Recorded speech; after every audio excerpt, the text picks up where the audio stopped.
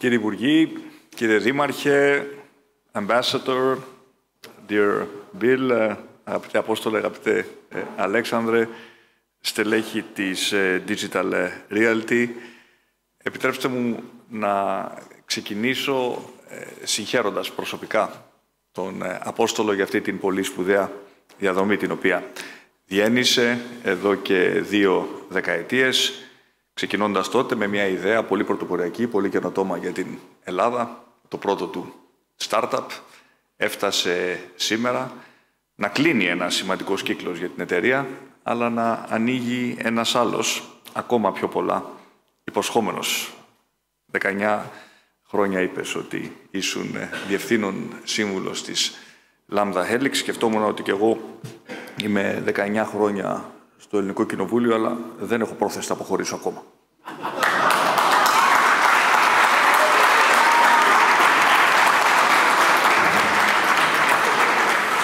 Βρεθήκαμε, βρεθήκαμε σε αυτόν τον ε, ίδιο χώρο πριν από 14 μήνες. Τότε μας υποδέχτηκαν πέντε φτιάρια και μία μεγάλη τρύπα. Και υπήρχε η δέσμευση της ε, εταιρείας ότι μέχρι τα τέλη του επόμενου έτους, καλή ώρα, ε, τον Δεκέμβριο του 2022, θα είναι έτοιμο και ε, έτοιμο να τεθεί σε επιχειρησιακή λειτουργία το τρίτο μεγάλο data center σας, το ε, Athens 3, στο οποίο και βρισκόμαστε σήμερα και το οποίο έχουμε τη χαρά και επίσημα να εγκαινιάσουμε. Δεν σας κρύβω ότι τότε είχα κάποιες αμφιβολίες αν θα μπορούσε να τηρηθεί το χρονοδιάγραμμα.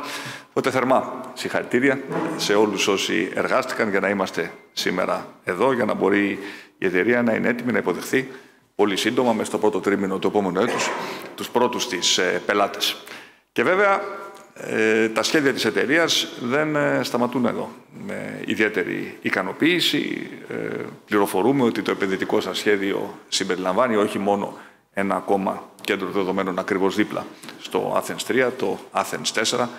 Ανοίγω μια παρένθεση, ε, συγχαρητήρια και για τον τρόπο με τον οποίο οι αρχαιολογικές μας υπηρεσίες ε, διαχειρίστηκαν ε, τα σημαντικά ευρήματα και νομίζω ότι θα είναι και το πρώτο data center, φαντάζομαι παγκοσμίως, το οποίο θα βρίσκεται ουσιαστικά πάνω σε ένα παλιό πύργο τηλεπικοινωνιών μιας άλλης εποχής και το οποίο φαντάζομαι ότι θα το αναδείξετε με έναν πολύ ενδιαφέροντα και καινοτόμο τρόπο.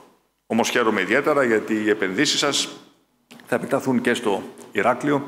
Μέσα στο 2025 θα είναι έτοιμο το data center, το κέντρο δεδομένων στο Ηράκλειο, το οποίο ε, δρομολογείται.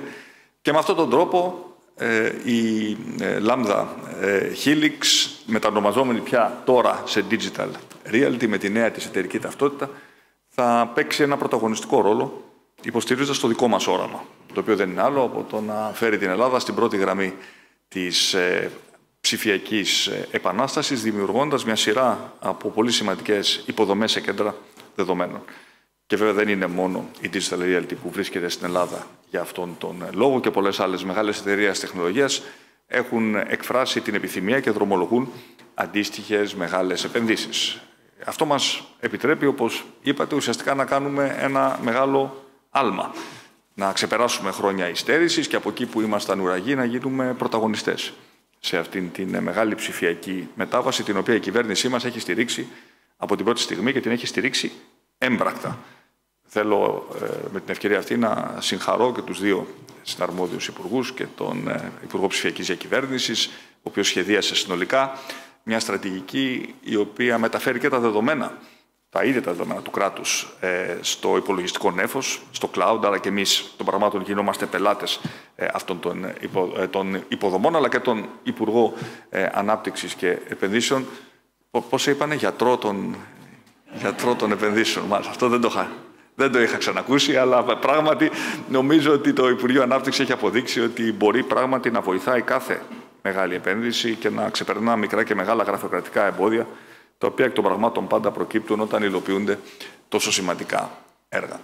Δεν θα μιλήσω εγώ με δεδομένα, ε, σας τα είπαν εξάλλου, ε, ε, σας τα είπε ο Απόστολος, σας τα πούν φαντάζομαι και οι επόμενοι ε, ομιλητές. Κρατώ αυτό το οποίο υπόθηκε ότι κάθε ευρώ το οποίο επενδύεται σε ένα κέντρο δεδομένων ουσιαστικά δημιουργεί οικονομική υπεραξία που ξεπερνά τα 8 ευρώ σε βάθος χρόνου. Και εδώ πέρα μιλάμε για επενδύσεις οι οποίες θα ξεπεράσουν κατά πολύ τα 200 εκατομμύρια. Επομένως, μπορείτε να κάνετε τους υπολογισμούς σας ε, γιατί αυτές οι επενδύσεις είναι τόσο σημαντικές για τη μελλοντική οικονομική ανάπτυξη της πατρίδας μας, διότι αν οι αυτοκινητόδρομοι και εγκαινιάζουμε πολλούς τέτοιους αυτή την εποχή είναι οι λεωφόροι του παρόντος, τα κέντρα δεδομένων είναι οι λεωφόροι του μέλλοντος. Και αρκεί να κοιτάξει κανείς τον χάρτη για να καταλάβει γιατί η θέση της Ελλάδος ε, στην παγκόσμια, σε αυτό το παγκόσμιο δίκτυο μεταφοράς δεδομένων είναι τόσο σημαντική. Έχω πει πολλές φορές ότι μου είχε κάνει πολύ εντύπωση όταν συζητούσαμε στις, ε, στα τέλη του 19 μαζί με τον Υπουργό την ψηφιακή μας στρατηγική για τις υποδομές, όταν έβλεπα ότι όλα τα καλώδια δεδομένων για κάποιο λόγο καταλήγουν στη Μασαλία.